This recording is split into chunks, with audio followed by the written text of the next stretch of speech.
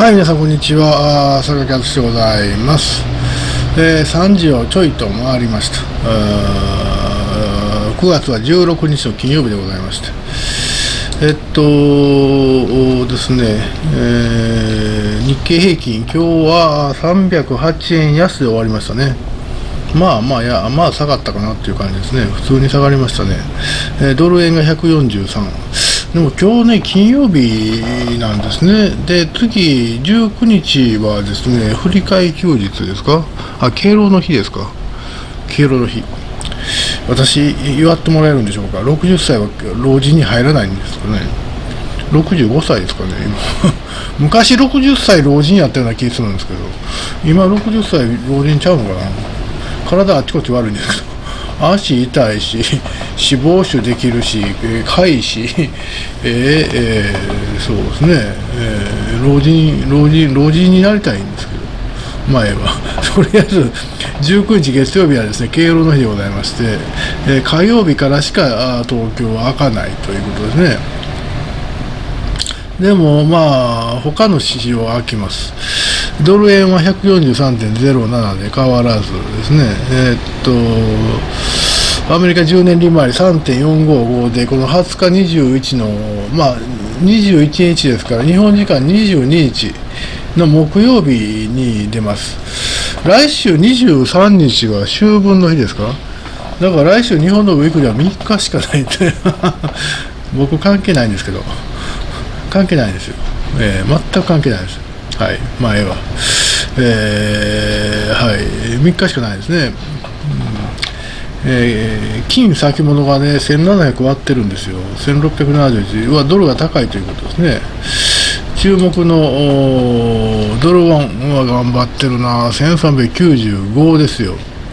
えーうにゃうにゃうにゃうにゃしてます。こうやってね、うにゃうにゃうにゃしてる時はですね、その後フィーって下がるか、フィーって上がるか、どっちが上がるって、まあ、グラフ的に上がると、ウォン安ということなんですよ。今下がってますね、ウォン高っていうことですね。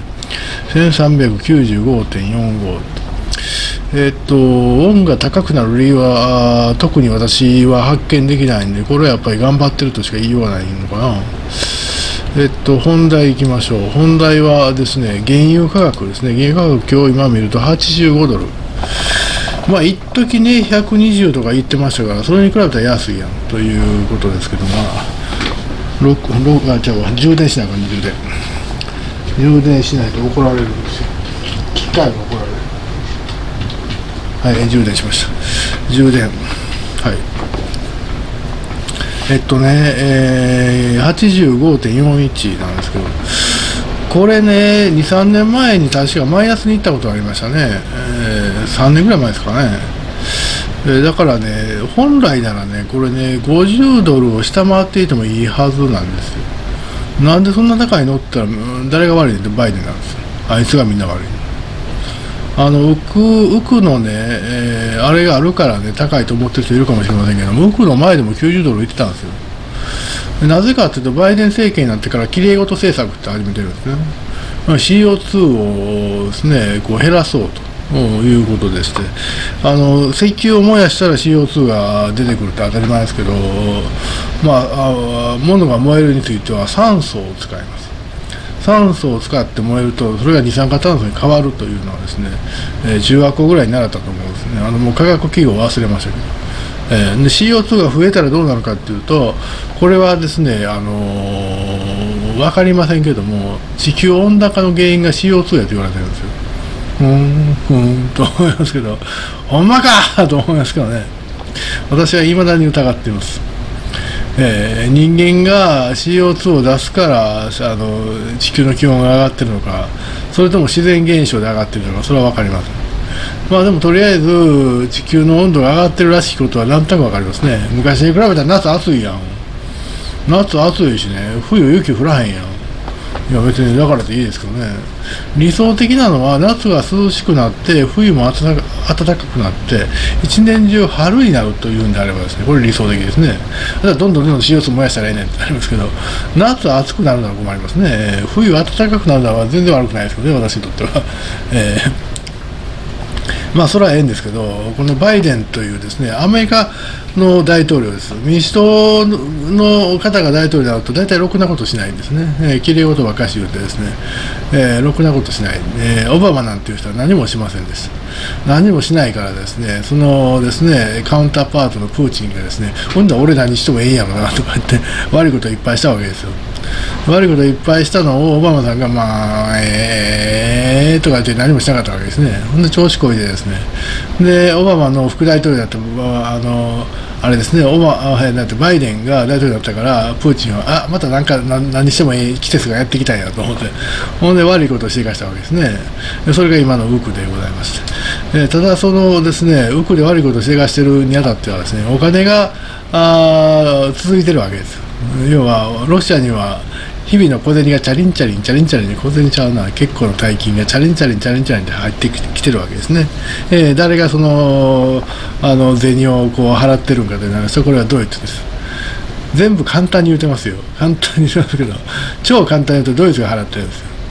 ドイツは経済大国でありましてですね、世界第4位かな。あの非常にこういいものを作る会社、工業製品を作るのが得意でして、特に高級な工業製品を作るのが得意あります。付加価値が高い。え、でドイツはですねヨーロッパの中ではですねかなり経済的にはですね、え、優秀でありまして、ね、要は業産金を稼ぐ国なんですね業産金を稼ぐ国が稼いだ金の一部をですねロシアに払ってるんですなんで払ってるかというと、それはです、ね、天然ガスをです、ね、送ってもらってる。天然ガスの代金として払ってるわけですね。天然ガスはパイプラインできます。ね、あののパイプラインを送る会社にですね、ドイツのですね、元首相が、シュレイダーという首相がですね、重役になっておるわけですね。えー、ドイツ、買え、これ買えって、金払えって、え、その払ってもらったお金がですね、こう戦費になって、えー、ロシア軍を養い、それがウクライナに行ったロシア軍たちを養ってるわけですね。えー、だから、あの、ガスのお金というのはですね、基本的には原油と連動します。ただ今はですね、ちょっとガスだけ高くなったりしてます。えー、で、まあ、ロシアはですねこう世界から非難、ゴー、ゴー、ゴー、ゴー、ゴー、ゴー、ゴーと浴びてるんですけど、そんな関係ないもん。お金があるから関係ないよって言うてるわけですね。その金はドイツが払ってるわけですね。簡単にはね、もう他の国も払ってますよ。えー、中国やインドも払ってますけども、まあまあ、で、それで戦争が続けられるというのが今のロシアでございます。えー、ところがですね、H えー、原油が今85ドルですけども、これが仮に50ドルを切ったとしますと、はっきり言ってロシアの収入は今の半分ぐらいに落ちるんですね。えー、半分ぐらいに落ちるとですね、いろいろ困ったことがあります。えー、外国から物が買えないって、まあ、今、外国はほとんどほとんどの工業国はロシアに物を売りませんから、えー、どこが売ってるかというと、インドと中国ですね、えー、そういった国から物が買えなくなる。うん、わけですそしたら困るやん困るやんってなるわけですねで今でもねあのハイテク製品とか買えないんですよ半導体も買えないんですけどで困るとですねやっぱりそんなん嫌やんということになって、えー、うくやめようというなるわけです、えー、まあ、もしくはあのプーチンあいつ大統領辞めさせようとなるわけですねだからどういう辞めさせ方をするかは知りません、まあ、あの命のあるままなのかなくなくしてしまうのかそれは分かりませんけどもとりあえずプーチンは排除されて、ロシアとしてはですね、こんなんやってられへんやね、やめようってなるわけです。ですから、原油の価格が下がるということはですね、ひいては浮くは終わるということなんですね。でそうしたらいいんですけど、バイデンさんってアホですから、あの要は原油価格維持政策を取ってるわけですね。実はアメリカというのはですね、もう世界一ぐらいの産油国なんです。エネルギーエネルギーのそう産油というか取るエネルギー産出国なんですね。あのガスもそうですし原油もそうですで売るほどあるんですよ実は。海外に売るほどあるんですけどもそのバイデンさんは CO2 をなくそうというばっかりですね。その石油産業エネルギー産業に対して非常に辛いしょっぱい政策を取ってるわけですね。でそれがあの結局のところ原油価格の高騰につながってるわけですでだからバイデンさんが犯人なんです実は。あいつが一番悪いですよ。あいつはやめたらいいのに。と思うんですけど、えー、早くやめてほしい。トランプさんに戻ったらですねまた原油は30ドルとか20ドルなる可能性はあります。まあ、そういう点ではね、トランプさんの方が好ましいわけですけども、まあでもどっちもどっちですけどね。どっちもいらんっていう感じですけど、まあどっちが、どっちがマシかという判断になりますね。まあトランプさんが次の大統領選挙で出てくるかどうかは分かりません。ただ一つ言えることはですね、唯一の真理はですね、原油価格が50ドルより下になればですね、多分ロシアはですね、続けることができなくなって、やめますって言うだろうというのは、割合確実に見込めるんではないかと、まあそういうお話でございました。はい、皆さんどうもありがとうございます。